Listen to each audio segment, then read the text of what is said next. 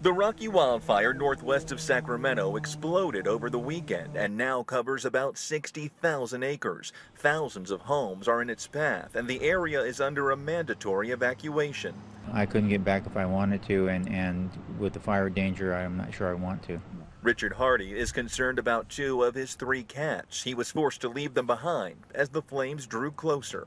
They seem to have a, an ability to, to escape fires, so I'm hoping that they did.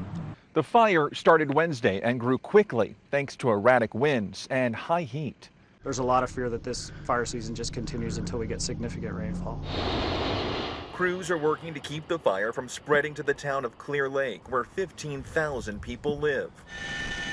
The National Guard is even helping out, scooping and dropping water from a Chinook helicopter. More than 3,000 firefighters are here, and there are thousands more battling other fires in the state. Here we go. That's squeezing resources as the fire danger in the west remains very high. Chris Martinez, CBS News, Lakeport, California.